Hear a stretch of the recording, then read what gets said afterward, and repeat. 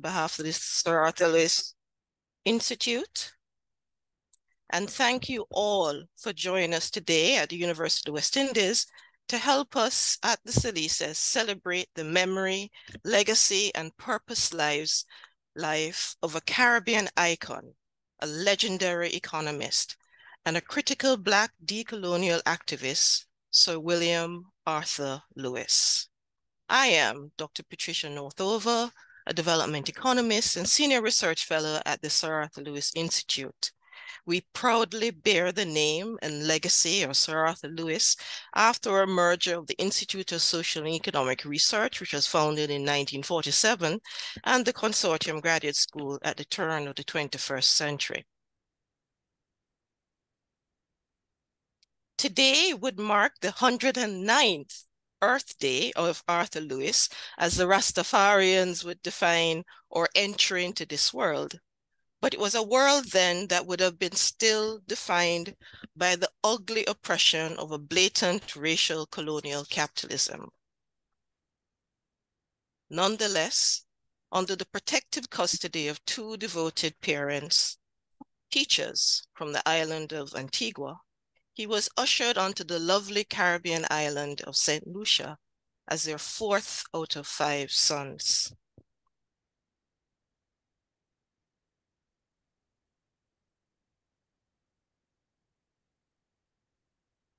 Today, we are joined by Professor Jayati Ghosh from the University of Massachusetts Am Amherst to discuss our present development conundrums in light of Lewis's own critical development agenda, we spoke to the developing countries of the world, from the Caribbean and Latin America to Africa, Asia, and even the Pacific. To support our proceedings, in the question and answer section after the talk, questions should be placed in the chat and persons may raise their hands for permission to make a comment. Please refrain from comments that may be deemed disrespectful. Persons who are held to be disruptive of the session will be removed. Your presence in this session indicates your permission for the recording and also your acceptance of the use of the recorded content on our university website and our Salises YouTube channel. It is now my distinct pleasure to introduce our directors at Salises, who will offer opening remarks and introduce our esteemed guest lecturer, the eminent feminist and radical development economist. Before I do so, please allow me to briefly note some landmarks in the life of Sir Arthur Lewis. So Arthur Lewis is well recognized as an economist, but he's also a social and political thinker. Recognized as a pioneer of development economics for his work on economic growth, international economic history, and industrial development. He was a professor of economics at Manchester and Princeton University. He's the first and only Black to receive the Nobel Prize laureate in economics, which was done in 1979 and shared with Theodore Schultz. He is the first vice chancellor of the University of the West Indies from 1960 to 63 and chancellor of the University of the West Indies, University of Ghana, 1966 to 73. He is the first president of the Caribbean Development Bank and indeed its founder in 1970 to 1973. He's a champion of decol decolonization, racial justice, and reparations, as witnessed in the text Labor in the West Indies, Birth of a Caribbean Labor Movement, which was written when he was just 23 years old. He received the Nobel Prize for his article on economic development with unlimited supplies of labor which was published in 1954 by the Manchester School. Today dates the 70th anniversary of this essay.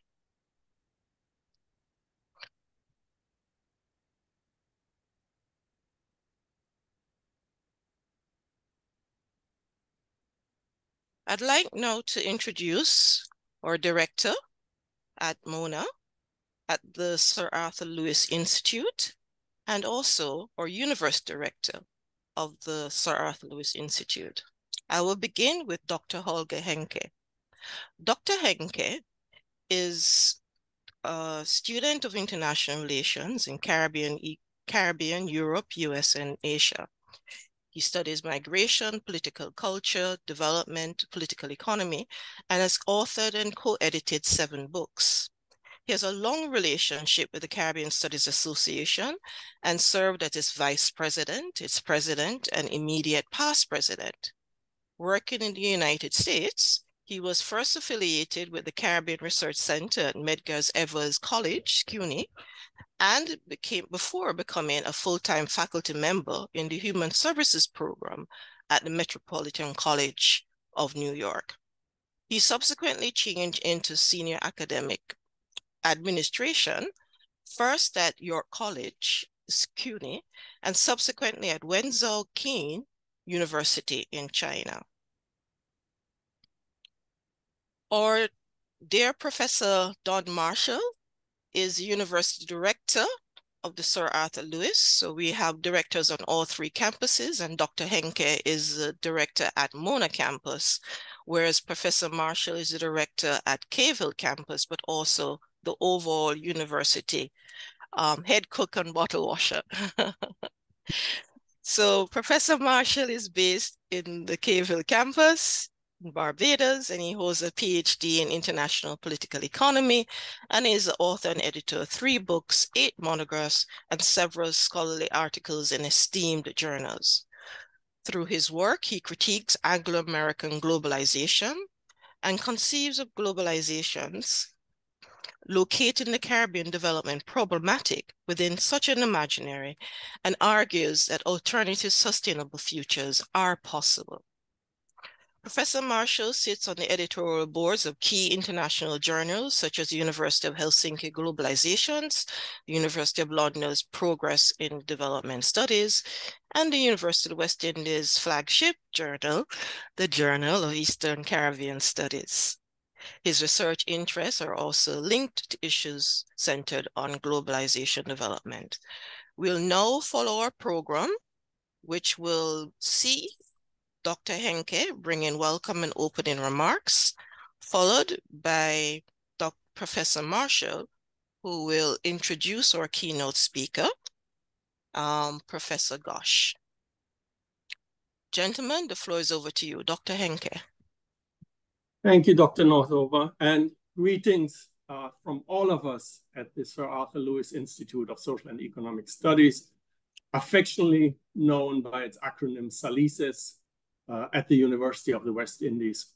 It is my very great pleasure to welcome all of you online to our recognition of Sir Arthur Lewis during this year's Sir Arthur Lewis Day that we're recognizing at the Institute.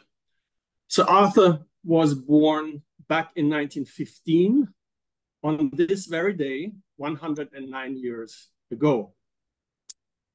Salises strives to continue his legacy by its work as a research and graduate teaching institution in the Faculty of Social Sciences, which produces high quality research on issues of the region's social and economic opportunities and challenges. We also advise regional governments and policymakers and offer master's and PhD programs in development studies. I believe it is fair to say that in many fundamental ways, the issues that exercise Lewis's economic mind are in some form and shape still with us today. I recently came across an article about his work published in 2019, just before the COVID pandemic struck the globe. In that article, Dr. Mark Figueroa pointed out that Lewis's attempt to understand the Caribbean in the context of the global dynamics of the world economy was one of his strengths. Specifically, there uh, is a footnote that struck a deep chord with me and which I want to center and highlight as we are about to hear this keynote lecture. In this footnote, Dr. Figueroa points out the social scientific analog to the Copernican principle in cosmology that Lewis applies in his study. And he writes, I quote,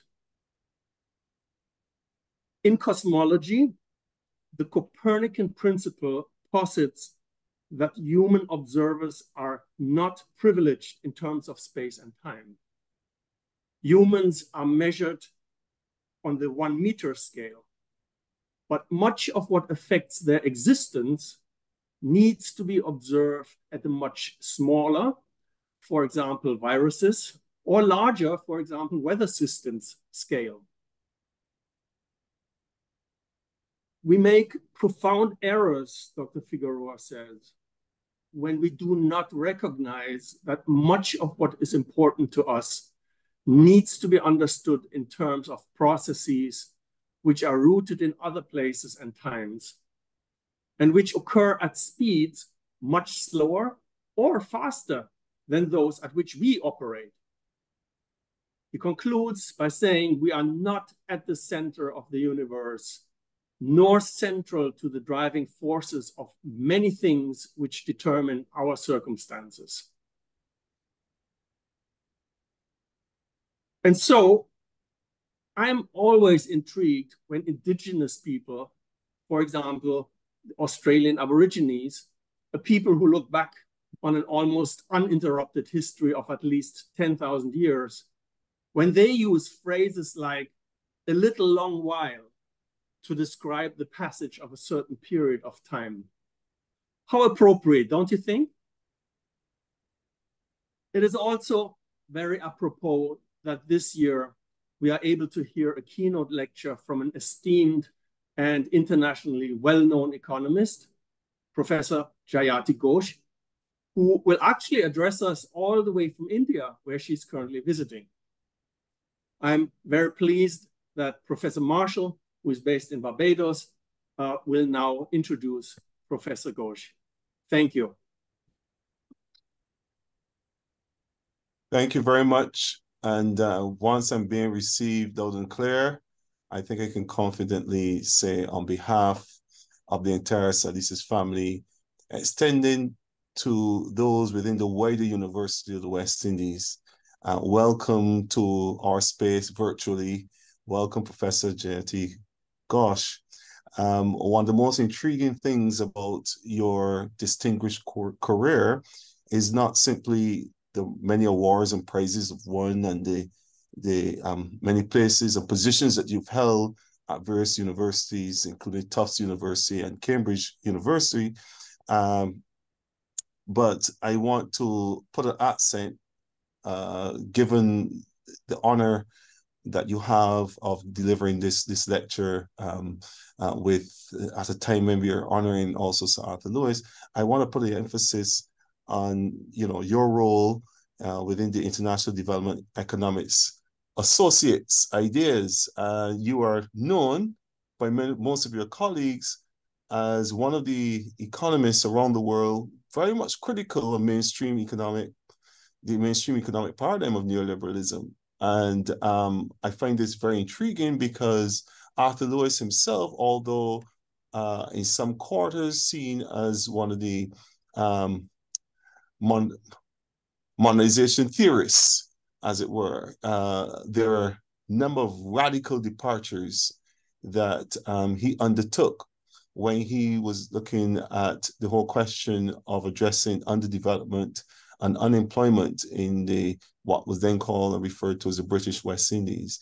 I see that you work not within the the the, the wings of, of, of, of, of the court of neoliberalism where there's a gentle debate uh, going on. I see you are prepared to look at issues of the existential threat that climate change poses and indeed see the limitations inherent with slavishly following the neoliberal paradigm of how to organize one's political economy, how to organize one's society and economies, indeed.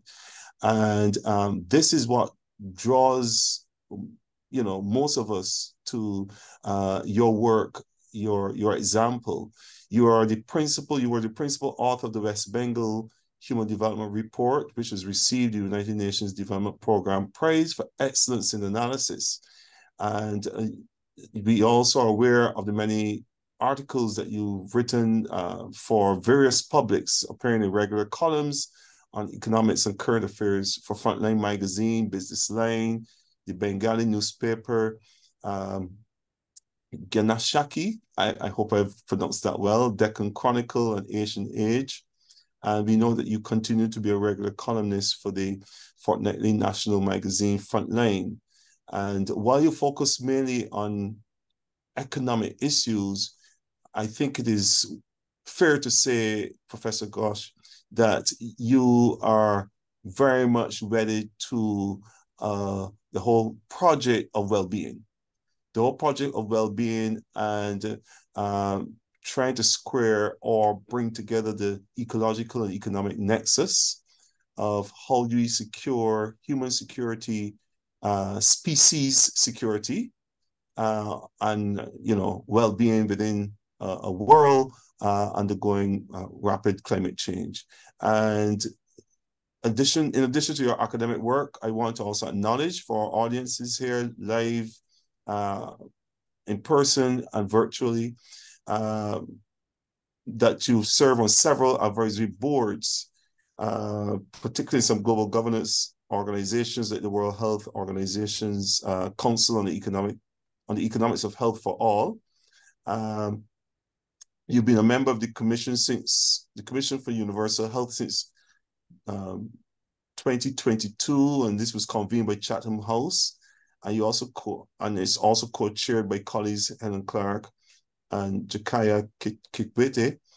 And since uh, 2022, you've been a part of the joint World Bank WHO Global Prepare Preparedness Monitoring Board.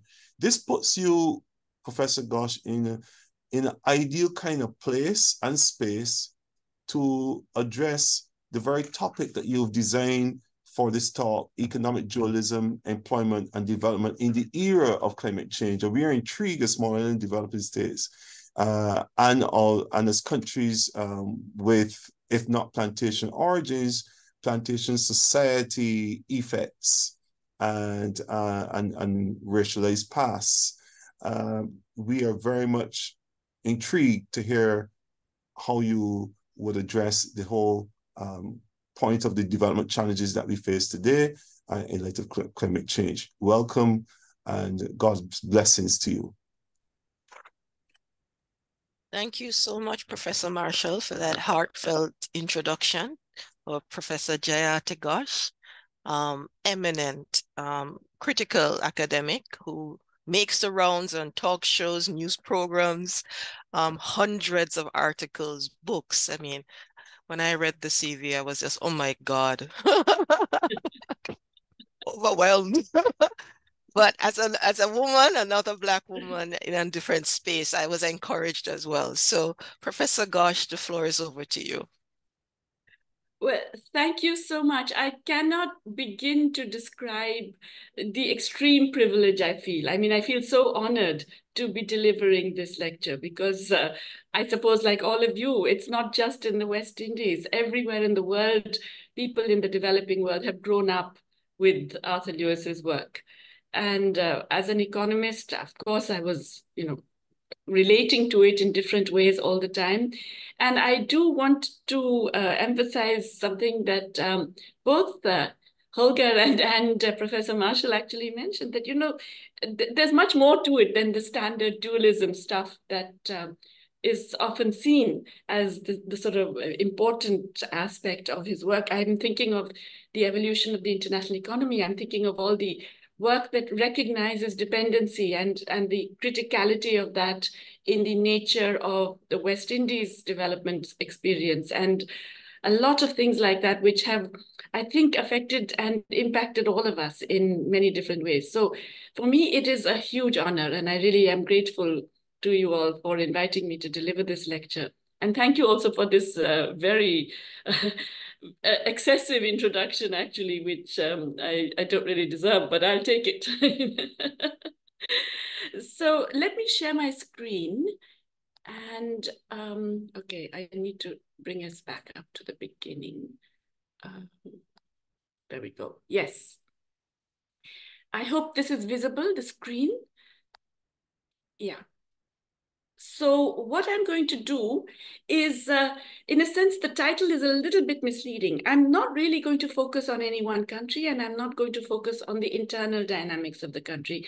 I'm really, because climate change is so global and because the impacts are felt so strongly across the world, but especially in your part of the world, I'm really going to focus on the global context and implications of this and how it plays out in terms of the possibilities for development, the very thing that uh, Professor Arthur Lewis spent so much of his life uh, engaging with. So essentially what I'm going to argue with is that, I mean, if you're looking at in terms of the, the basic challenge we face, I would argue it's a very different challenge from the one that uh, Sir Arthur Lewis uh, faced way back in the, um, excuse me for a moment, I just have to, it's a very different challenge from the one that was faced by uh, the, um, the development economists of the mid 20th century because we have a problem with many of the um, uh, we have many of the traditional problems that they were addressing and that uh, uh, Arthur Lewis, for example, uh, addressed particularly, but we have new ones as well. So unfortunately, we still have what you could call the traditional tasks of development. And we still have the traditional constraints of development as well. Our project is still incomplete. I love the phrase that you have just used, the, the project of well-being, because that's really what it is. And it's human and natural and planetary well-being that is now our project. It is very incomplete. And we have the older forms, but they are the older problems, but they now have new forms. And these forms have been created by the fact that economic processes have changed, economies have evolved, differential movements have occurred. The international architecture creates new manifestations of the problems that were identified earlier. But also we have new challenges. And particularly climate change is is such an extreme challenge. It, it is, as was mentioned earlier, an existential challenge, which is even undermining some of the earlier progress that has been made and complicating many of the responses that we can provide. In fact, I, I'm, I know that I'm preaching to an audience that knows this better than I do, because these are concerns that are much more acute in small island developing states.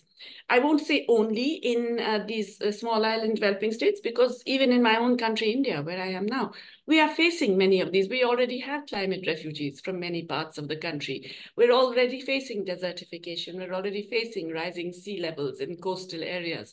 And many of the extreme problems that are emerging in your part of the world are also evident in ours and are not just impeding the project of well-being, but are actually, in some cases, even reversing it.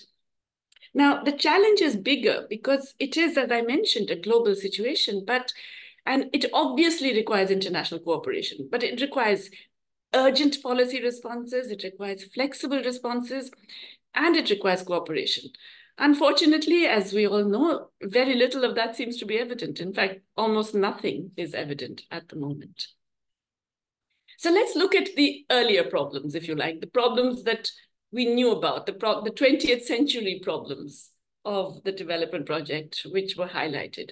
And I think it's fair to say that economic dualism, specifically the continued existence of surplus labor, the fact that we have not managed to shift workers enough workers to higher value added activities, whether in industry or modern services.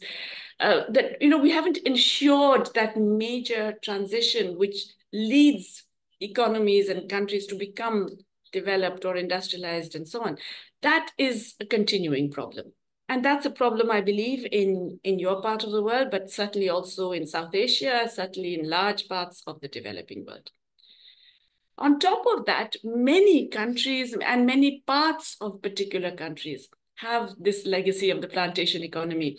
I actually read uh, Lloyd Best and Kari Polanyi's uh, Levitt's uh, book as part of preparing for this lecture at the um, instigation, I should say, of uh, Holger Henke. And um, it's really, uh, it's really extraordinary how it fits into not just the West Indian situation, but very much the Indian situation, very much many developing countries in Africa, uh, many lower and uh, middle income countries in across the world.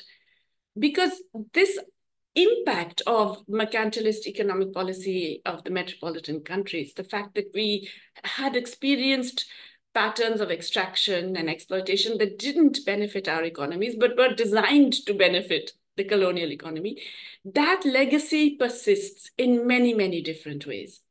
And that, of course, is part of the essential problem that has been identified. The, you know, still, I, am referring to it as a 20th century problem, but it's very much a 21st century problem as well. It hasn't gone away.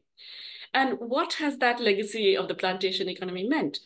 First of all, excessive reliance on primary goods exports and extraction. So it could be mineral, it could be agricultural, but basically it's export-led growth. We're not looking for the domestic demand uh, and we're not looking at rising wages, generating higher demand domestically. We're looking at the export possibilities of extraction. This extraction in turn is heavily dependent on foreign capital, on investment essentially by multinational corporations that uh, is designed, of course, to maximize their own profits, but also to maximize the extraction with relatively less regard for the longer term sustainability implications. This has meant that quite often we lack even the most essential uh, production required for domestic consumption, such as food. And so food imports becomes another aspect of extreme dependence and of concern in many of our countries, and I believe also in the West Indies as well. Along with this, we have the fact that the value added of exports tends to be much lower than those of our imports. That we are at the receiving end of the global value chain, whereby we deliver the lower value chain parts of production and we receive the higher value chain parts of production. Now, all of this in turn means that, you know, we basically persist in our low wage development and there are therefore limitations on the growth of the domestic market. And that in turn means you don't get the benefits of economies of scale and so on. And of course, infrastructure development is inadequate. It's designed to facilitate the export extraction rather than generate a sort of holistic, sustainable growth pathway across our whole, econ whole economy. So that generates what you would call structural balance of payments deficits, along with a domestic combination, which is really weird. It's a combination of particular supply shortages as well as demand constraints. And so this is a um, pattern that definitely arose for long historical reasons, but it persisted through the 20th century. It persists in the 21st century. It hasn't gone away. And I think that's really the biggest challenge in a way. But of course, as I said, it's a challenge that is now further added on to by new developments in the global economy. So yes, there's primary product extraction, but increasingly tourism has become yet another method of surplus extraction by the metropolitan uh, corporations. And I want to emphasize that a lot of this is still FDI driven. A lot of this is still determined and driven by capital from the metropolis, with all of the implications that existed even for the extractive industries. And uh, that means that even the kinds of services that we export, and particularly the tourism uh, services that we export, keep us once again at the bottom end of the smiley curve. The smiley curve is, a, is something that has been used to describe global value chains whereby the value added happens all at the pre-production and post-production parts of the curve. Uh, and the actual production, the people, the workers, the ones who are actually producing those goods and services, they get very low value. And this is true, it's as true of, uh, you know, the iPhones produced by Foxconn, where they get 10% of the final value of the good. as it is for tourism services or for cash crops produced in the West Indies. We remain at that lower end of the smiley curve. And then we have new forms of dependency, new dimensions that are created by cross-border financial flows. And these are expressed in many ways. There's, of course, the fact of external debt, the repayment burdens imposed by external debt, the legacy debt that continues to plague countries uh, very dramatically. And then, of course, the fact that capital flows are extremely volatile. And they're volatile often for reasons that have nothing to do with the performance of the country concerned. They have to do with macroeconomic policies of the North, of the advanced economies, which generate the capital coming in when the monetary policy is lax and interest rates are low, or capital flowing out when monetary policy tightens and interest rates get higher. I mentioned that there is now an international legal architecture which reinforces many unequal processes. And uh, we can talk about this perhaps in the dis discussion, but it is really, uh, I would argue, these are newer impediments to the possibilities for development. The World Trade Organization and various free trade agreements, CAFTA in your case, for example, and the rules on trade that they impose dramatically reduce the policy space uh, for autonomous development in a lot of lower income countries. Uh, the intellectual property regimes that are um, typically uh, now increasingly and heavily enforced on the developing world are again major impediments to the possibilities of autonomous development. The ways in which sovereign debt legacies are dealt with, the enforcement of extremely unequal and frankly unacceptable rules, things that would not be accepted within the economies of the global north. Within the United States, within UK, they have bankruptcy laws that prevent this kind of really excessive extraction based on debt. Those are not available to sovereign debtors who, and many of our countries are suffering from this. And then, of course, the uh, arbiters of um, global economic policy, the IMF and the World Bank, have an unfortunate emphasis on austerity, on fiscal cutbacks to address any situation, even when the problem is not caused by fiscal excesses. They go out there and impose austerity. Uh, within this rather bleak picture, it, there is this further problem that is faced particularly by small island development states. And once again, I think I'm sure I'm saying things that you already know far too well the fact that your geography means that you can't really get economies of scale for infrastructure projects because these tend to be large. An airport, for example, uh, uh, or you know various different kinds of transport linkages. So economies of scale becomes a concern. Then, of course, there's the David versus Goliath problem, the fact that all countries that are relatively small in size, typically we're all facing multinational corporations that are huge that are many times the total GDP. And it's not just the economic size, it's the marketing power, market power and the lobbying capacity with our governments, which makes it a very unequal relationship in terms of the terms on which investment occurs and the terms on which our uh, primary products, our minerals, our agricultural commodities are extracted. Climate change, I don't have to tell you about. It's already affecting us in rising sea levels, in the severity and frequency of extreme events like hurricanes and floods. Now, all of this, of course, they affect human life and animal life and plant life, but they also affect economic activity. And that's, so it becomes yet another, not just impediment, but often a reversal of the development project. And that's something which is not adequately factored in into anything, into financial uh, strategies, into public policies, into longer term government investment. We simply are not doing enough of that. But what it does do is increase risk perceptions.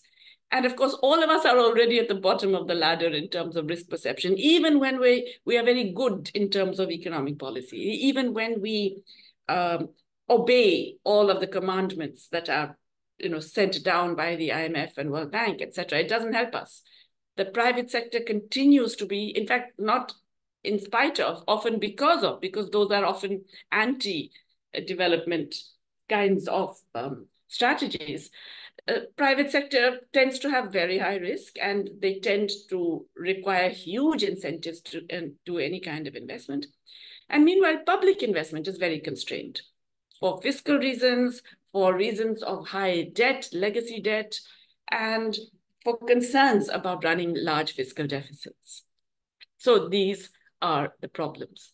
But now I want to get a little bit more into the, the global context, because I think that's very important. And I'm going to call this context climate imperialism. And I know that often when somebody puts these words together, there it's seen as problematic that, you know, you're talking about imperialism. Isn't that sort of over and done with? Aren't we post-imperialist? And I would argue, unfortunately, no if we define imperialism not in the ways that of people often think of it in terms of colonization and so on, but rather as the struggle of large capital, typically monopolistic capital, over economic territory, a, a struggle that is actively aided and assisted by the relevant states. Then imperialism is unfortunately alive and well and exercising its impact on all of us. So what is economic territory? It's many different things. Of course, there's land. Yes, everybody knows about land, about resources extracted from nature, whether, you know, below the soil or above the soil and so on, water, labor, both paid and unpaid labor. I think it's important to recognize the significance of unpaid labor, of markets, of often newly commoditized services that were earlier typically seen as something that governments provided, whether it's electricity or it's education or even security. These were seen as things that were part of public provision. Increasingly, they are being privatized. And even if they're not privatized, they're commercialized. Governments expect to get you know, value back for providing these. Another new form of economic territory is knowledge, which you know is it's it frankly almost obscene in the way in which intellectual property is now compartmentalized, privatized, commercialized, and seen as an arena for profit, which I believe uh, actually inhibits the further dissemination of knowledge. But now we know that even cyberspace is economic territory that can be contested and is contested. But these are all different forms. I would argue that today, perhaps one of the strongest forms of imperialism is climate imperialism, because it's the one which is now impacting all of us. And it is also the most strongly associated with coercion, with conflict, with wars, as well as legal and economic architecture. And that's important. You know, the legal architecture often doesn't appear to be coercive. It seems that, oh, well, you know, it's just the rules of the game, it's laws, you need those. In fact, they are deeply coercive and deeply unequal.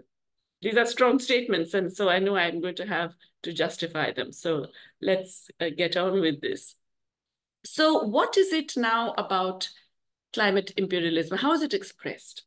Well, essentially what it means is that the metropolitan countries and the global elites, which means the, the wealthy across the world, not just the wealthy living in the US and Europe and Japan and so on, but the wealthy even living in our in India, in China, in Brazil, in South Africa, in across the world, uh, they are able to have patterns of production and consumption that are based on extraction and on exploitation of the conditions of others, an imperialist mode of living, okay?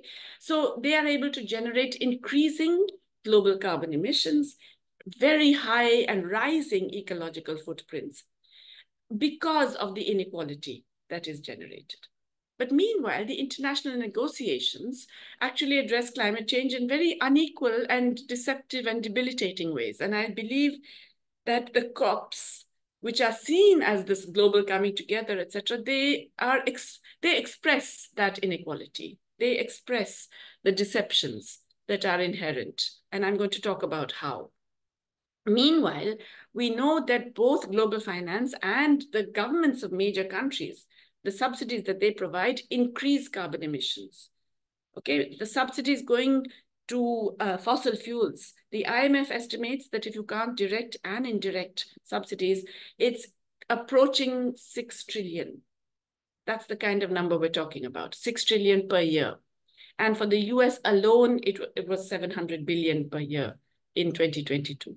So enormous subsidies provided. And of course, private finance follows this. Private finance uh, provides huge resources for fossil fuel investments and for brown investments, even while paying lip service to you know ESG and and doing green finance and so on.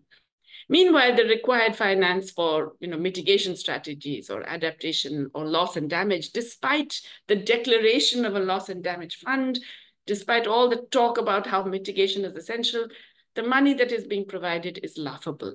I will show you some numbers. Meanwhile, in fact, the intellectual property rights, the knowledge monopolies created by the, this terrible regime of intellectual property rights are are extremely worrying because most of humankind now cannot access the critical technologies that we need to confront the climate challenge. And that's a huge concern that is going to become even more important because, as I said, now it's upon us. The problem is urgent. We can no longer say it's going to happen in the future. And then bad enough that, you know, we don't get the technologies we need to do something about this. But the new technologies that are emerging and are very important, they require new minerals. And so we are getting new resource grabs, particularly aimed at strategic minerals, whether it is lithium or it is the rare earths. And so there are new forms of extractivist competition among the leading powers. There are strategies that are supposed to address this, carbon markets, carbon capture and storage, geoengineering, etc. They all have their own problems. They all have limitations. They're, so far, carbon markets have been almost completely ineffective. Carbon capture and storage is often treated by large business as they opt out, that, that, that they don't have to do other stuff if they can say they're doing carbon capture and storage. So they are problematic in different ways. And of course, the way in which we have chosen to deal with this as humanity is frankly weird, okay? Because let's face it, it's a global problem. It doesn't recognize borders and passports and visas and so on, right? Yet we persist in treating it as something that has to be engaged with at the national political level and at the national economic policy level. So how does it work? Uh, countries are assigned climate responsibility uh, based on current national ambitions. These then form the basis of climate uh, negotiations. I'm sorry, this should have not been COP26, but COP28 that we've just had in a major fossil fuel exporting country. But this, of course, ignores historic responsibility. It ignores carbon debt. And so it understates the responsibility of richer countries. And that in turn, it also overstates the incomes of poorer countries because it uses purchasing power parity measures of income rather than the actual exchange rates, the market exchange rates that we all face. And that overstates poor country income. It's also that the measures that are used are based on production rather than consumption. Yet we know that the North continues to export a lot of its carbon intensive production and that this has actually been a major source whereby it can claim less responsibility for the carbon emissions that it is doing. Now, I said that they ignore the historical debt. Here is one estimate of the historical debt, which is uh, from the mid 19th century to the first decade of this century.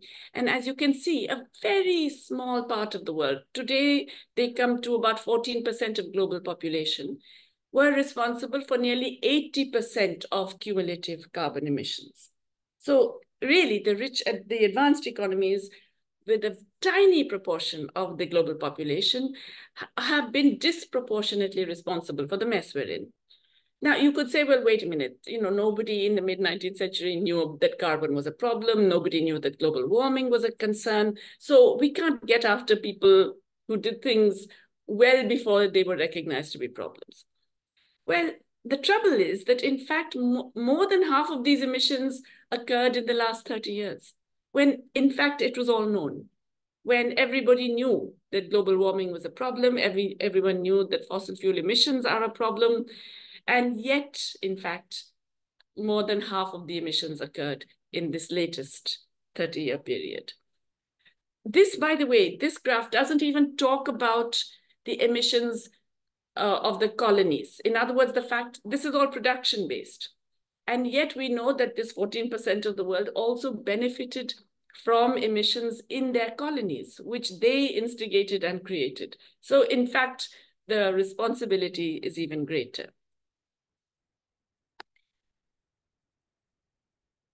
Yet we also know that if you're looking at the likely impacts, the worst affected are going to be the countries that didn't contribute now uh, to uh, the problem. In fact, mostly the countries that contributed to the problem uh, have hardly any impact or they don't they're not going to get a decline in gdp at all that's a large part of europe canada etc but and even the united states it's a relatively low impact for climate change and yet the caribbean region african region large part of latin america large all, all of South Asia and Southeast Asia, we are disproportionately impacted in terms of the likely GDP losses. What is even worse, and this data here is from the climate inequality report that came out just uh, last year. It, what this shows is how, uh, this is now in terms of the shares of global population rather than the um, the regional or geographical spread. But as you can see, uh, and disproportionately, you know, South Asia, the Caribbean, etc., we are in the bottom 50% or some of us in the middle 40%. Okay, we're not in the top 10%. But anyway, if you're looking at the capacity to finance versus the losses, the losses are likely, they're concentrated in the bottom half of the population. 75% of the losses are going to hit the bottom half of the population, okay? Whereas the top 10% will only experience 3% of the losses. And the middle will get 20%. The emissions of the bottom half are only 12% of global emissions. The emissions of the top 10% are around half of global emissions. And of course, if you look at wealth, because this is a useful indicator, wealth gives you some indication of the capacity to finance either mitigation or adaptation or loss and damage. There's really no capacity to finance in the bottom 50%. There's very relatively little in the middle 40%, but it's concentrated. More than three fourths of the capacity to finance is concentrated in the top 10%. In, in other words, the problem is about inequality.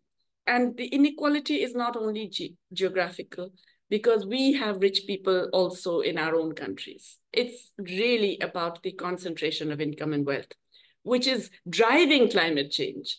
But also because of that concentration, the capacity to solve it, the finances for that also exist among that top group. And What's interesting is that this is true across the regions, okay? And so as you can see here, um, and the Caribbean, by the way, I'm sorry, is included in Latin America. But as you can see, the bottom 50% has got relatively low per capita emissions. But the top 10% has got pretty high per capita in emissions in every region, uh, much higher even even, uh, for example, you look at East, East and Southeast Asia, or you look at um, these other countries, you find that the emissions of the top 10% are higher than even the bottom 50% in the rich countries.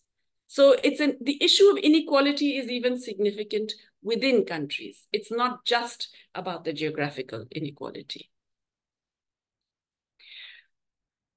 as I've said, you know, six, about two thirds of carbon emissions is due to within country inequality.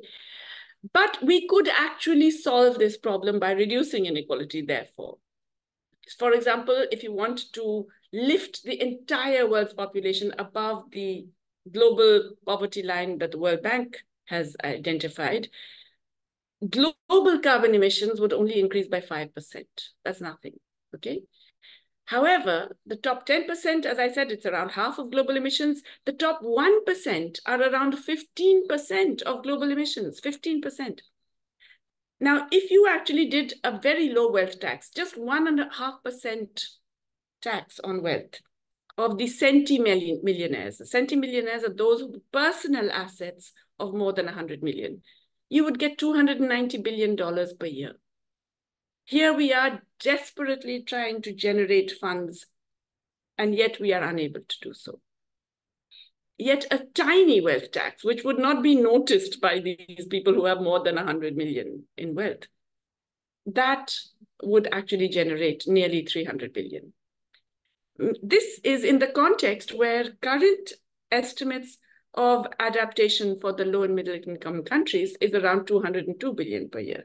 So we would happily cover that if we actually did impose a wealth tax on centimillionaires. The other point I want to make, though, is something that, you know, is is often misunderstood in many of our countries, which is that we have to choose between development poverty reduction on the one hand and climate mitigation on the other you know, that if we actually do this thing of moving away from fossil fuels and we can't do development, we'll have all these poor people. That's not true. Okay. We can choose a development pattern that at one level improves the energy efficiency of the economy. Uh, overall, all your activities use less energy. We can change the investment and consumption towards activities that require less energy. And within energy, we can go from the, the worst uh, which is coal and petroleum and so on, to we can move up that ladder to natural gas, to clean renewables like solar and wind, and hydro sources as well. Okay.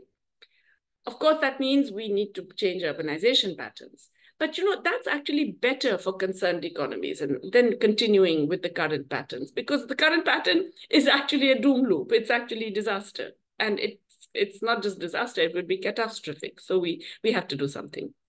There have been estimates, my colleague Bob Pollin and Noam Chomsky did a study that you could actually do this with, a, you know, between one and a half and two and a half percent of GDP of the large economies, only the large economies. But of course, it's not just finance that we know. We need access to technology as well, as I have mentioned. But let's look at the finance. You know, they promised, the developed countries in 2012 promised that they would give 100 billion per year for climate finance. So far, it's less than 67 billion, even in the most, the most recent period. And it's not from individual countries, it's from multilateral sources, regional development banks, and so on. But even this is an overestimate because there's still no official definition of what is climate finance. So you can count anything in climate finance, all sorts of things. Uh, there was an investigation by Reuters that found that you know Italy provided a subsidy to open chocolate and gelato stores across Asia. The US did coastal hotel expansion in Haiti. Belgium did a, love story set in Singapore, a film of a love story. Because it's set in a rainforest, it becomes climate investment. Japan financed a new coal plant in Bangladesh, supposedly green coal, and airport expansion in Egypt. Now, it's one thing that they finance this, but it's another thing that they called it green finance for climate. That's the killer. And as I've already told you, meanwhile, there are these huge subsidies for fossil fuels and private finance directed towards brown investment. Now, the other aspect that I remember that I wanted to highlight in this context is that of debt, because this is really, uh, I can't call it an elephant in the room because everyone's talking about it. It's not something that is unnoticed, but it is huge and it is a, a major and pressing problem. Now, um, the international community, if you like, you know, the Davos crowd, they've stopped bothering about debt because there's no, very few countries that are going into actual default. Uh, but the uh, countries that are going into default are small enough not to impact the global economy. So they don't really care. Okay. Yet, in fact, more than half of low-income countries are in high risk of debt distress or already in debt distress. There are middle-income countries that have already defaulted or are facing really severe debt stress. We've had 14 default events across the last one and a half years, which is just one and a half years, and yet, you know, there were 19 for the entire two decades before that. This is not uncommon. We've had previous patterns of, you know, periodic explosions of debt distress, largely because of the policies of the rich countries. It's the macroeconomic policies of rich countries that cause capital to flow out and so on. What is really intriguing and I would say concerning is that the countries of uh, the middle and low income countries the so-called fundamentals don't apply to them. You know, what's a, what is a, a, fundamental supposed to be? Let's say the level of your debt to GDP, yeah, or uh, how much debt service to GDP. Those are supposed to be the things that creditors and, and financiers would look at. But look at the left side of this chart. The advanced economies have huge general government debt to GDP levels, okay? In excess of 100%, went up massively during the COVID-19 pandemic, came down a little bit, but still very, very high, in 112% in 2023. The middle income countries were much more circumspect. It stayed within 70%. It went up a little bit during the COVID-19 pandemic, increased a little bit, but still very moderate increase. In fact, they were very restrained. They did not spend more. And that means they denied their citizens their basic needs during the pandemic and the health crisis and the economic crisis that followed. But the low income countries, it's truly shocking. Very low debt to GDP ratios, less than half, and did not budge, barely changed at all over this whole period of crisis. Now, you would think if they're being so fiscally disciplined, if they're being so well behaved and good, that they would be rewarded by the capital markets for their efforts. I mean, they're denying their own citizens their basic social and economic rights to be in good faith with the capital markets, right? So are they being rewarded? Well, now look at the right-hand graph. This is the spread on sovereign debts over the between 2018 and 2023. And as you can see, the blue line is advanced economies. This is the spread over the US federal rate, okay? How, the spread is less than 1%. It's 0.1%. So, and it has not budged. It has stayed the same. This is the average spread. Look what's happened to middle and low income countries. It just ballooned. So here they are being excessively fiscally disciplined, behaving themselves, so-called, and yet the spread on the sovereign debt is just going through the roof, which dramatically increases borrowing costs. So this is, it goes up to 700 basis points, okay? Which is, you know, like a 7% spread over the US Fed rate. And for some low-income countries and debt-stressed countries, it went up to 11% over the US Fed rate for the bonds, which of course it massively increases your borrowing costs and it makes it much more difficult for you to access new debt. And it's happening even though you are doing so-called what is supposed to be done. Now, in fact, the small island developing countries face particular types of debt problems. Now, more than 40% are in or on the brink of debt distress because of this upsurge. And it's not just even the ones that are not close to default. The point is that the debt service counts for around one third of government revenues, more than double of all the spending on health, education, and social protection together. Just imagine. And in many of these small island developing countries, the disasters that have happened in the recent past uh, have increased massively. So the damage has increased by nearly 90%, the impact, okay? Private, and, and when you have these major disasters, then your debt increases because you're unable to repay, that gets add out, added onto the principal. This has recently happened to Guyana, to the Dominican Republic. And this is at the same time that concessional aid is declining. Now, the minute you have structural vulnerability, you have a high debt burden, you have a legacy debt, and you have all of these other things added to the higher risk perceptions, investors back away. And when they back away, risk perceptions get even higher and credit ratings fall even further. So it's a vicious downward cycle that is driven by these private credit markets. The other big problem, and I think it's a problem also in the Caribbean now, is the instability in food prices, which has generated food insecurity in large parts of the developing world.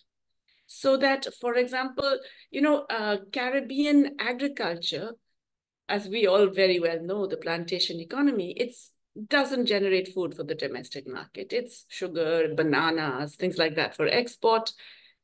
And we have seen that there was a dramatic upsurge in global food prices during the Ukraine war, not because of the war, but because companies made profits off that. Uh, supplies remained the same, but they made profits uh, by declaring that you know the war would impact on supplies and financial speculation in the commodities market, which caused prices to go up massively for about six months before they came down again. But for net food importing countries, two things happened. One is that, of course, immediately when the prices go up globally, they impact on the domestic price. As you can see here, uh, for some of these countries, the massive increase in prices in 2020 and 2021. But even after that, when the global price comes down, your currency is depreciating because of capital outflow, because of the monetary policy tightening in the US and Europe, because of higher risk perceptions, because of those bond market spreads that I showed you. And so you see this dramatic and really incredibly high increase in food price inflation across the Caribbean countries. Today, in fact, the cost of a healthy diet is one of the highest in the world in the Caribbean. $4.4 per person per day in purchasing power parity terms. Now, that's more than 40% higher than the average in the OECD. It is 13% higher than the lower middle income countries, and it's 5% higher than small island development countries as a whole. So the Caribbean is particularly badly placed in terms of food insecurity.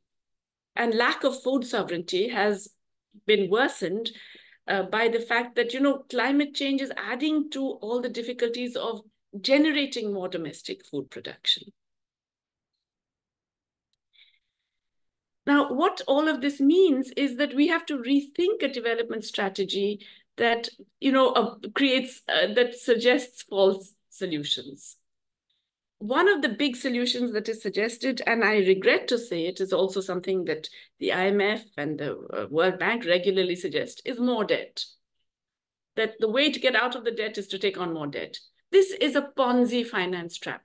It never ends well it's you know borrowing to repay earlier loans is is a mess you really when when they become unpayable you simply have to restructure the debt you simply have to get into debt relief it is not going to solve your problem to take on more debt push the can on the down the road and have that can growing bigger and bigger similarly when there's a temporary shortage of necessities and you're trying to reduce the impact of that by maintaining a high exchange rate, again by accumulating more debt, that too doesn't help. That also creates future problems.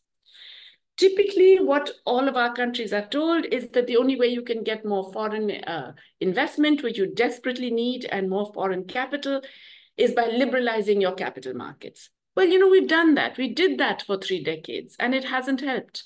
It hasn't even helped the middle income countries, as we've seen. So we have to now look at this and take a very hard look at this foreign investment. Look at the benefits, which there are. That you get more foreign exchange, you get technologies, you get markets, but make sure you get those benefits and look at the benefits in relation to the costs because we know that it carries a huge amount of cost. It, there is a loss of foreign exchange because of the outward remittance of profits, dividend, and interest.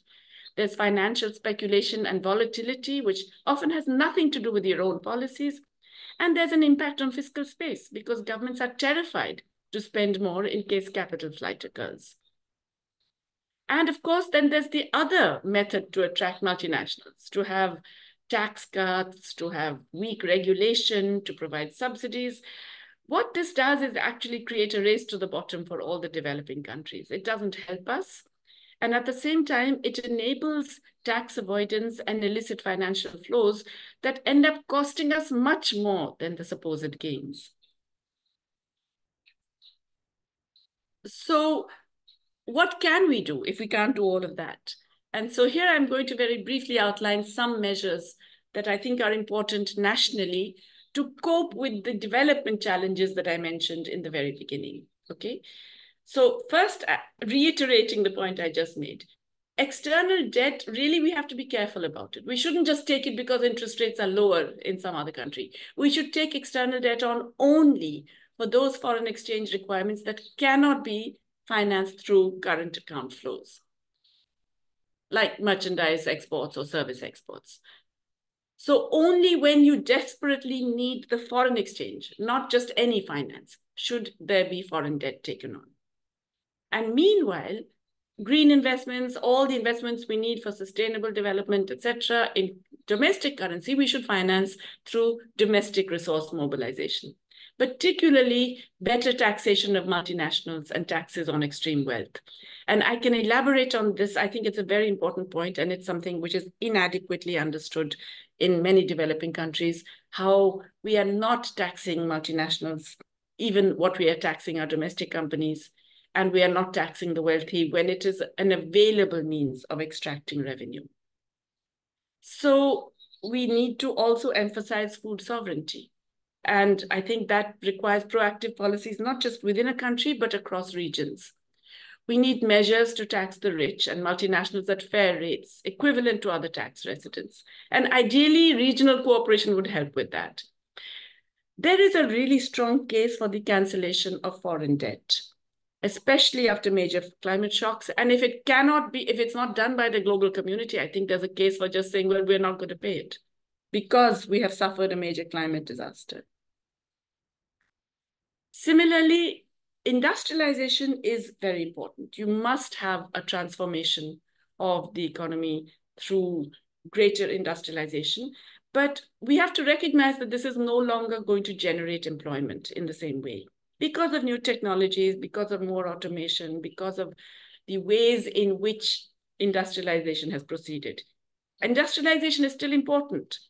More value added and processing is still important for many reasons, for synergies, for linkages, for knowledge creation, etc. But for employment, we have to think of new channels, particularly investment in care and creative industries. The care economy, which has been underinvested in in all of our countries, is a huge source of not just better welfare, better standard of living, better employment for women, but also it's a massively employment high multi uh, high employment multiplier kind of investment. Of course, all of this requires changes in the international economic architecture as well. So, you know, certainly in terms of the climate negotiations, we should be using market exchange rates, not PPP. We should bring in the role of historical carbon debt. And we should consider the shares of future carbon as well, according to the per capita basis, okay? we need massively increased public climate finance. And this should not be seen as foreign aid, as you know, rich countries be kind to the low-income countries and so on. It should be based on global public investment because we know these are global challenges, these are global public bads. We need global public investment. One possible route is using more special drawing rights of the IMF and of course, using multilateral development banks more imaginatively, creatively, and with less conditionality to actually enable these investments. I've already talked about multinational profits and extreme wealth of individuals, uh, the, the need to tax that. There is now a discussion at the United Nations for a tax convention. And this is a great opportunity to actually ensure that we can generate uh, um, some kind of a deal that would enable all of our countries to get our fair share of the taxes from these sources. We need to regulate private finance uh, and control it because it continues to fund the brown projects. Border carbon taxes, which are the policy choice of the European Union and the US, are not a solution. They are basically trade protectionism and especially because you know we no longer trust these global collections of revenue when there's no real clear statement about compensation or sharing of revenues if you have a global tax and dividend policy which a number of even progressive economists have suggested that could only work if you have trust and international cooperation. And let's face it right now we have neither. Okay? Now of course i once again have to repeat technology. Sharing new technologies, making them accessible to all, it's essential. So we have to change the IPR regime and TRIPS has to be renegotiated. So basically, things can be different. You know, I mean, we need more liquidity like the IMF SDRs. Ideally, we should have selective allocations, not a global allocation so that most of them go to countries that will never use them, but a selective allocation based on principles of need, climate vulnerability, and so on the current international financial institutions are outdated. Yeah? They're uh, unwieldy, they're slow, they give too little too late, they have terrible conditions. So we need a new institutional structure with equal footing for principal creditors and debtor nations and stronger rules to impose on private creditors. Debtor countries have to cooperate and coordinate strategies to assess the debt sustainability correctly instead of allowing the IMF to give problematic estimates and create a template for a globally uh, implemented policy framework. But also, we must have capital controls and internal financial regulation. It's essential because otherwise, the global financial markets are creating such fragility, such volatility, and they're reacting to forces that are not of our own policy making. So, we really need to protect ourselves from these very, very volatile flows. Bottom line, what do we do? If we know the multilateral system is not going to do this, what do we do? I would argue that we have to have coalitions of developing countries, coalitions of countries that could be issue based to confront global power, because we cannot do it on our own. But if we join in groups and coalitions, we can actually have a voice that would have to be heard. Okay, let me stop here. Thank you.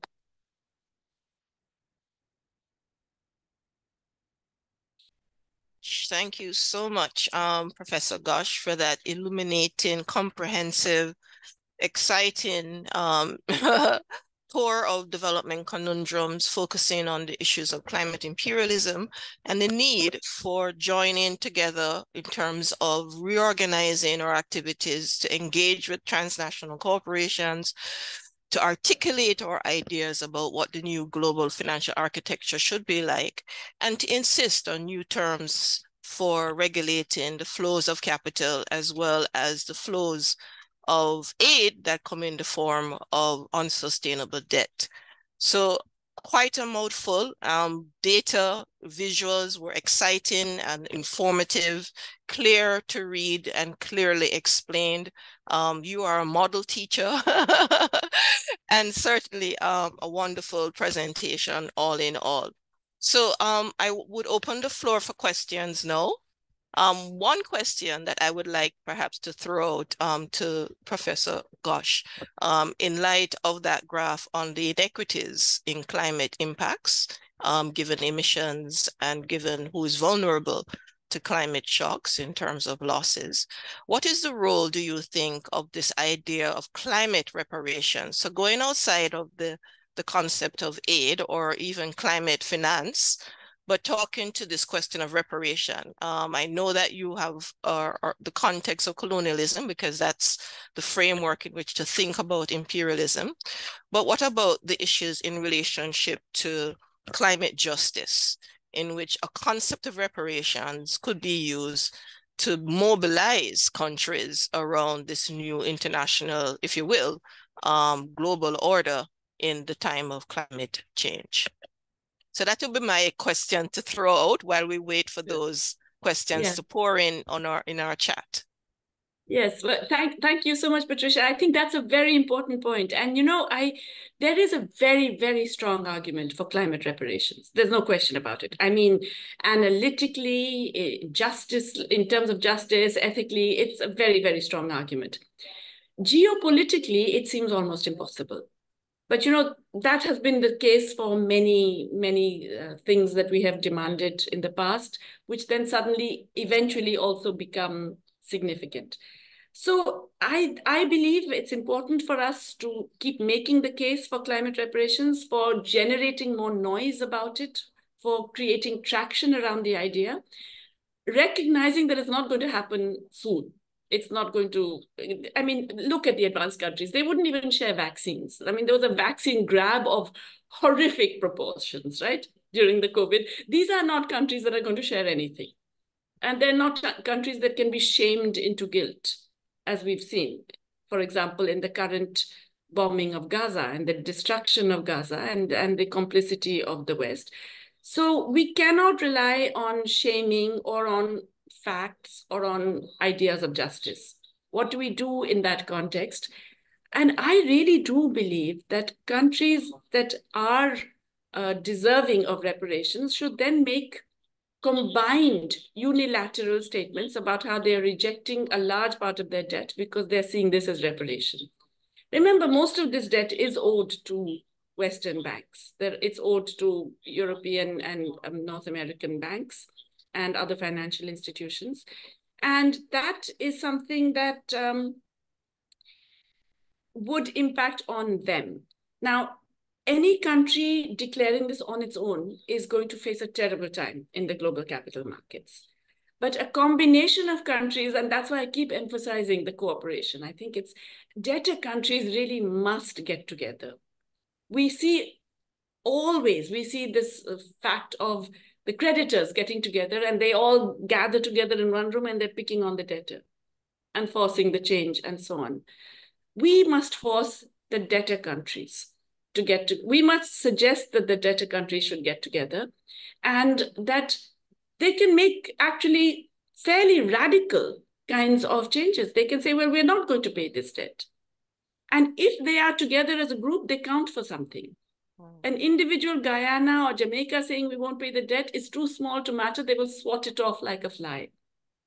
A significant group of countries getting together and saying we're not paying changes the game. Hmm.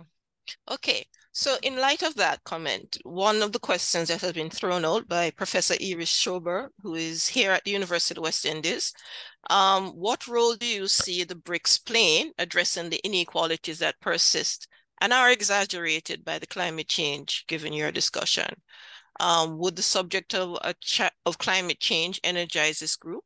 And I just wanted to say that Anna Perkins is also a member of the University of West Indies, um, had a question related to that, which was how do you see these coalitions working to force significant changes in international economic So, so they're more or less the same question, but asked in different ways. So yes. we'll we'll we'll um, allow you to respond to this question of the tactics and strategies for international mobilization. so you know the BRICS is an interesting thing because it's also now recently been expanded but the expansion suggests that the direction is is slightly different from what many of us had hoped yeah because it, the expansion is including a bunch of oil exporting countries that are not known for particularly progressive economic strategies so um, the uh, so the expansion of the BRICS is one that uh, makes me think it may be not the most effective way of doing the uh, uh, the uh, the kinds of coalitions I was talking about. I think Brazil, for example, is actually doing very interesting things. And I know Brazil would like to take even its chairpersonship of the G20 to a different kind of level, but I don't think G20 really has much scope left in it. There are too many divisions within it, and there are too much, there's, uh, there's too much um, wasted time, shall we say, in the G20. In the BRICS case, I think it would be significant in terms of redirecting the currencies of trade, in terms of enabling more finance for trade credit in particular in terms of providing different routes to avoid sanctions when they occur. So for example, supposing a bunch of Caribbean countries says, we're not going to pay our debt. And then the US says, we're going to impose sanctions on you. We've now seen that it's quite easy to avoid sanctions if you have enough people on your side. Russia has shown that very clearly. You can actually do quite well. The Russian economy has not suffered at all. I mean, I'm not holding out, I'm not supporting them. I'm just saying it is possible.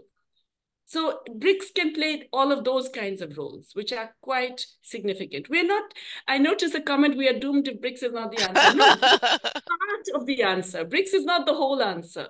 There isn't one answer. BRICS is part of the answer. I mentioned tax cooperation, and just to answer the other question about different forms of cooperation, in Latin America, there is already this attempt. It, start, it was started by the finance minister of Colombia at the time when he was. Right, so the last point you made was in relationship to tax cooperation and the possible example from the um, Colombia um, in terms mm -hmm. of the strategy that they were taking, their finance minister had taken. So I don't know if you wanted to complete that thought before I ask yes, you any further I questions. I do. I do. I'm so sorry. I really do. Yeah. I uh, I want to emphasize that the attempt that has started by the finance ministry of Colombia and which is still ongoing is extremely important because it is given the uh, possibilities of tax cooperation, the fact that it's now coming to the UN, that it's being opposed tooth and nail by the OECD countries. It's very important for a coalition of developing countries to say, well, we can do this on a regional level to begin with ourselves. And that gives huge bargaining power within the UN convention discussions as well. And of course, it also helps all of you. So I think this is something, for example, in the region, to that Latin America and Caribbean region can really show the way to the rest of the developing world. So that's what I meant when I said issue-based. You know, debtor countries can do a coalition. You can do a different coalition on tax cooperation. You could do a different coalition on financial regulation. Yeah. Okay. All right, then I just wanted to say that there was a comment in the um, chat that was asking you perhaps to reflect on the situation with Guyana that is seeking finance um, simply because they qualify now with the inflow of foreign currency in their country. And there doesn't seem to be any attempt to learn from the lessons in Trinidad and Tobago in the 1970s when the country was pressed into accepting loans and um, blindly complied, leading to the um, debt trap. But that comment was from Dr. Tymon Stewart, who is also an honorary fellow at the Arthur Lewis Institute. Yes, you know, it is so frustrating to see this over and over again. Guyana is not the only one. I mean, so many countries, they're, they're all congratulated. You know, everybody rushes up and says, oh, yes, wonderful. Now you've graduated. You can access these markets. Shouldn't you be happy? And they're forced into yet another debt cycle. All the HIPC countries that were, had massive debt relief and were doing quite all right. When global uh, finance, you know, the global financial crisis and interest rates were down, they were more or less pushed into massive um, acceptance of more debt. And now most of them are in debt crises yet again. Jamaica, another example, for eight years now, it's been running fiscal deficits. It's yes. Jamaica's a whole new story. mm. But Jamaica has also been seen as a poster child for fiscal prudence, which, as you noted, has been at the extreme cost of human well being in terms of the investment por portfolios that are needed for social and human development. Um, just another question that I'm going to, we have around five more minutes for questions. Yes. Um, and it's from Doreen from Island City Labs. And she says, I'm curious about the role of labor, labor justice, and the movements as we across the Caribbean are in the race to the bottom as we vie for the very same set of tourism jobs and business outsourcing jobs. So that is something that is a very important question for the Caribbean region, which is seen as a low cost um, um, easily extractable um, labor la labor zone. Yes, that's that's exactly what I was saying about how we're at the bottom of the global value chain, even for services. And again, it's bring it, it's always presented as the solution, and we are so anxious to attract capital of any kind that we forget that without ensuring decent conditions and good quality employment, it's actually a worthless task. Mm-hmm. It's excellent. Excellent.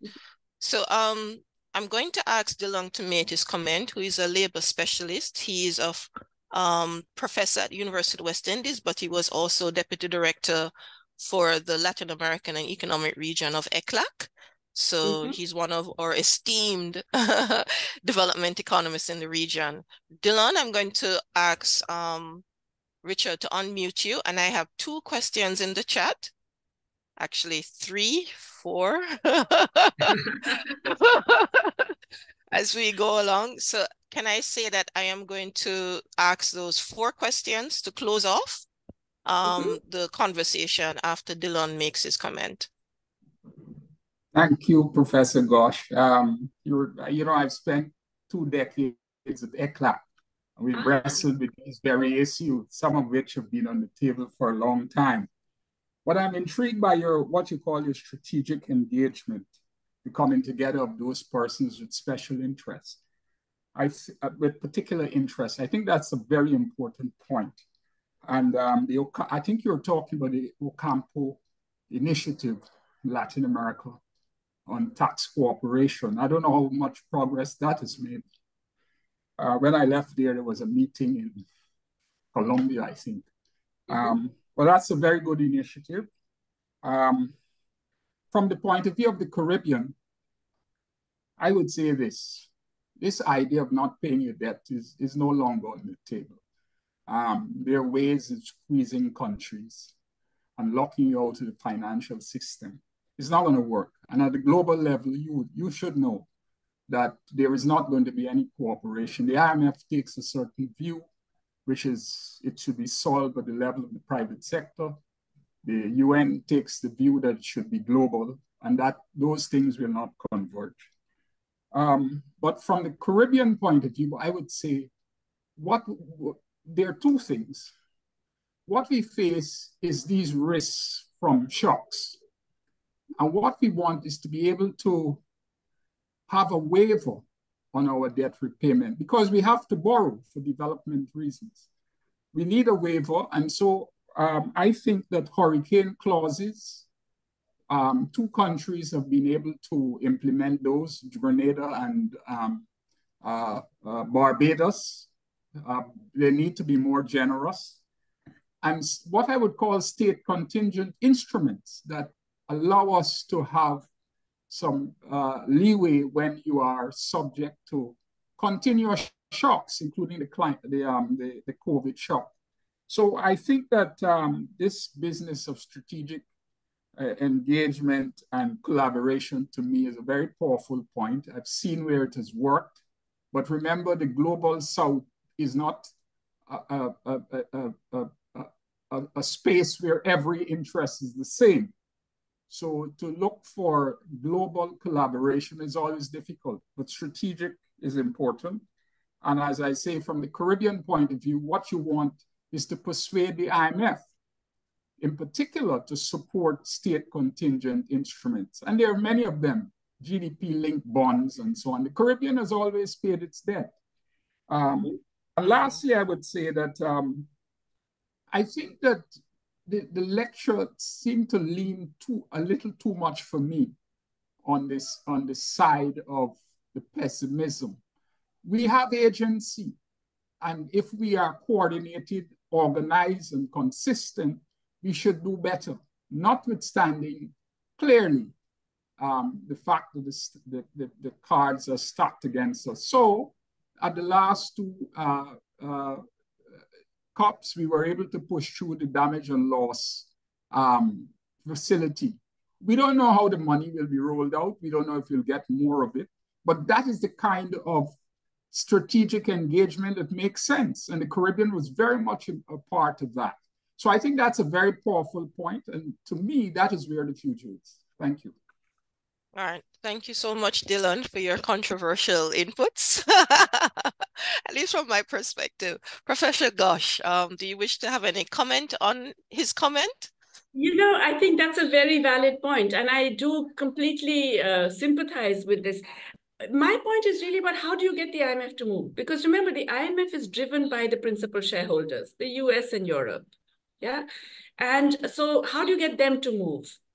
And I don't think you can get them to move by just saying, oh, please be nice and please be rational. And, you know, it doesn't work. You have to show that you are systemically important because alone you're not. And we know that, you know, for systemically important things, they will do anything. If you look at Silicon Valley Bank in the US or Credit Suisse in Switzerland, they'll break all the rules. They want, you know, everything goes the minute they think you're systemically important.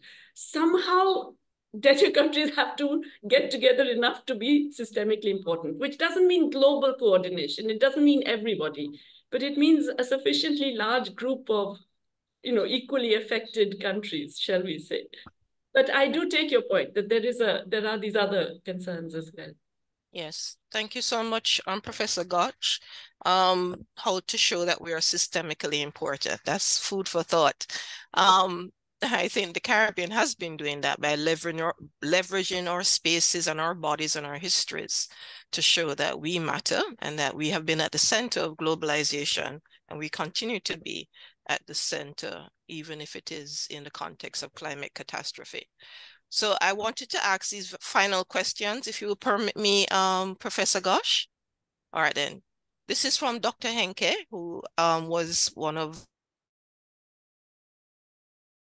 um, the persons who introduced uh, or directed SALISES Mona. Um, he says there's a lot of activism on the ground by communities affected directly by extractivism and climate damaging activities. And I have to say that one of those activities includes my project on disaster capitalism in the Caribbean, um, which is funded by the Open Society Foundations. So how can these localized forms of resistance be strengthened and elevated? And that is the first question. Um, should I continue? Yes, please. Okay. Okay, that's a tough question though. Let me try to remember that one, yes. All right then. Um, so Professor Michael Taylor, who is also the Dean, Faculty of Science and Technology at University of West Indies and one of our most eminent climate scientists ask, what about the move to establish legal culpability? Would you include in, in your transfer of technology the building of climate science capacity, for example, in the area of attribution science, which will become more critical for making the case legally? Should we take those two and then do the last two? Yes, you know, on building up of local initiatives, I think they're absolutely crucial, but I think they can't be done without a broader national strategy. And let's face it, that has really been missing in most of our countries. We've all fallen, we've all drunk the neoliberal Kool-Aid. And we all think that, you know, we don't need a national strategy. We don't need planning. We don't need to be thinking in the medium term, and we don't need public investment. You know, that's that's fundamentally underlying a lot of the still the basic economic policy framework. In that context, local initiatives can only remain local at best. I mean, it's a it's already a miracle if they survive. That they will not become transformative. So I'm really for I'm I'm in favor of a blending of the two, in a way. Uh, to the question on climate science, yes, you know, um, I really have a problem with the way knowledge is colonized today. And I think the TRIPS regime is a major part of the colonizing of knowledge. But it's also the fact that the research questions and the methodologies are also uh, determined by the North. And I think that's important, not just for social sciences, that's also important for the natural sciences. The very specific problems that are faced from climate change, etc., uh, the very localized problems. We, we often do not have the resources or the scientific and technical capacity to take those on. And we should be, in fact, cooperating with each other. Here I go again about South-South, but we should be cooperating with others in other country, uh, countries that face these similar problems. Here I want to take the example of the African CDC, uh, the African uh, Center for Disease Control, which in the period of the, of the pandemic really came out well. It, it was one of the few, I would say, successes of the pandemic in terms of just coordinating, coping, and trying to develop scientific capacities within the African continent on its own, recognizing that they have been basically abandoned by the global community and saying, well, we've got to do it ourselves. And they are now in the process of developing vaccines, of doing much more genomic research, and all kinds of other things that you know you can do if you get together. Yeah. Okay, thank you so much. So the last um, questions I'm going to field are from Anthony Gonzalez.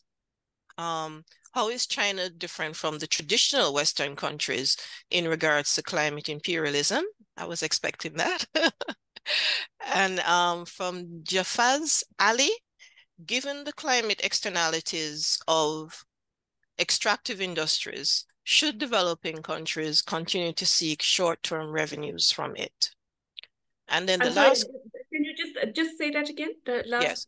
Given the climate externalities of extractive industries, should developing countries continue to seek short-term revenues from it? And um, one last question from Joel Walcott, who is from the University of Ghana. When we speak of climate reparations, are we only focused on financial compensation?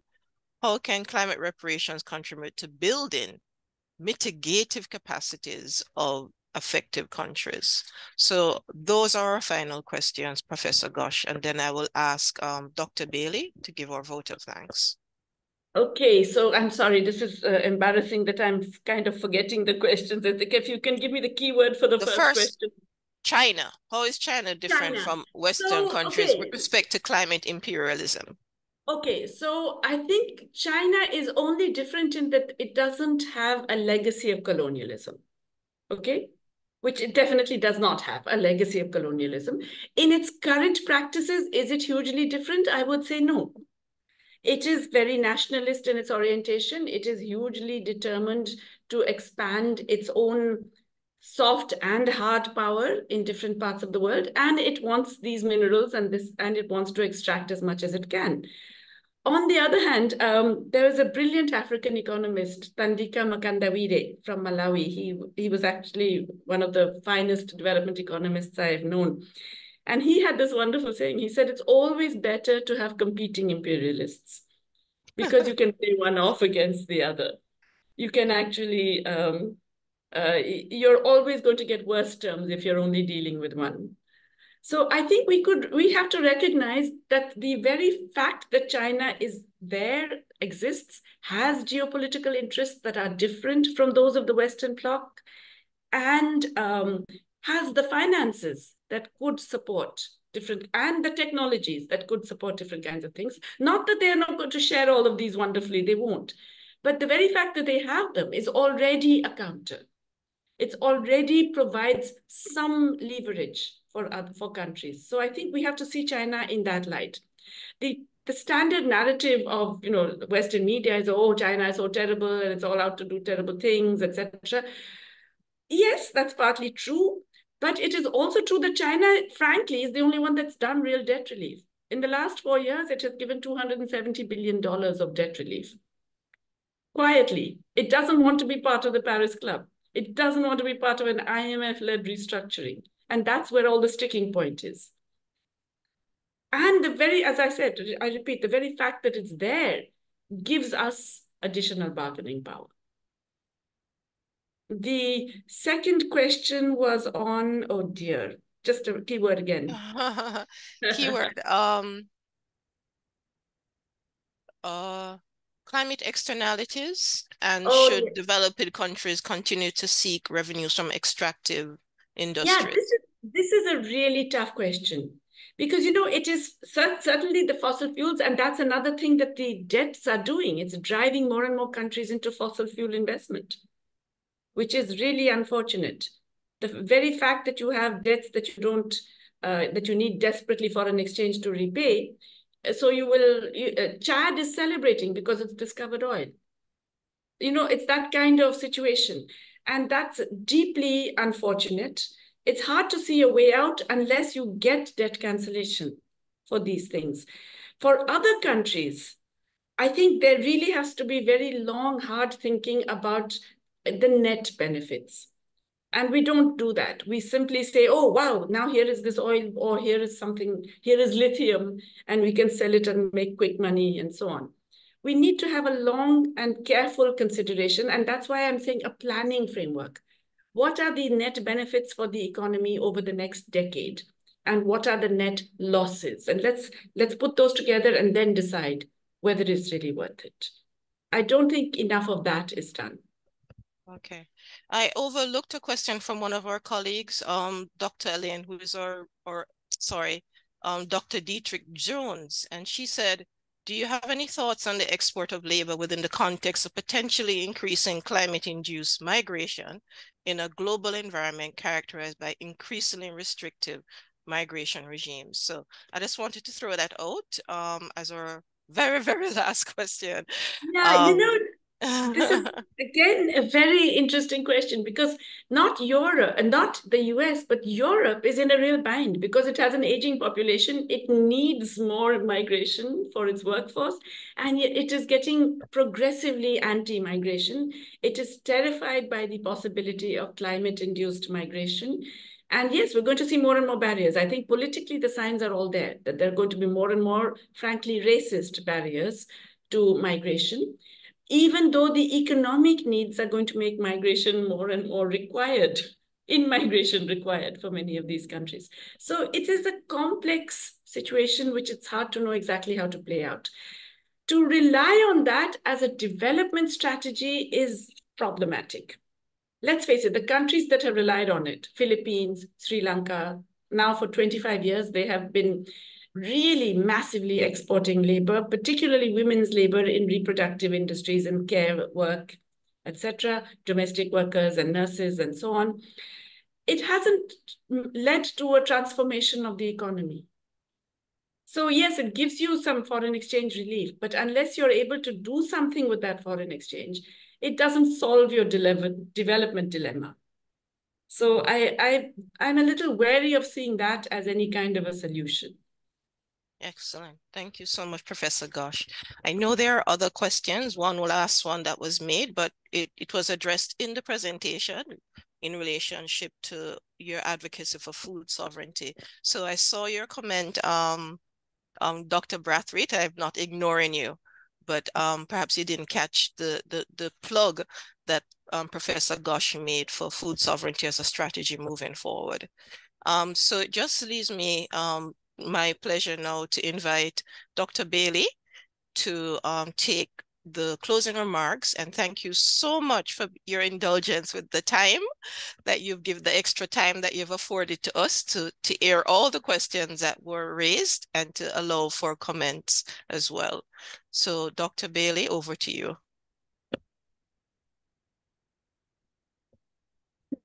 Thank you very much, Dr. Ntogo. And good morning, good evening again, everyone. Prof. Ghosh, thank you very much. We are particularly grateful um, and we greatly appreciate the time that you've shared with us and the insights uh, in relation to all the various topics as mentioned in the chat and as Dr. Northover has so ably chaired and guided um, relating to the development project um, and the specific issues relating to the transfer of green technologies, labor, employment, climate imperialism, and the, the wealth of information that has been shared. We thank the audience for your participation, your questions, your comments.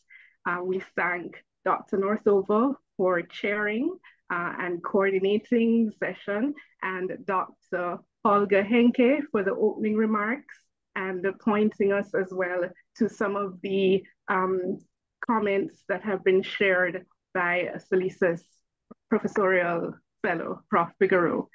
Um, Prof. Marshall, we also thank you for highlighting Prof. Ghosh's role uh, and as a leading international development economist and her work in that space as well.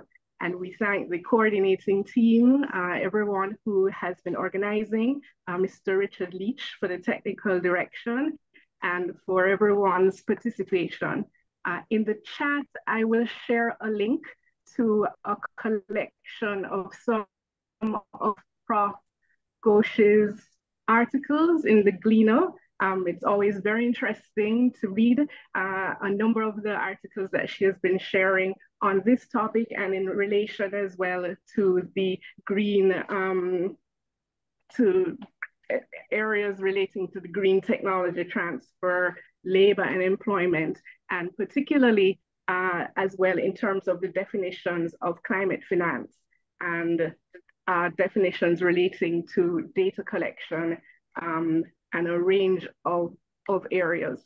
So again, we thank you. Um, and uh, thank you so been a much. pleasure celebrating the start. Yes.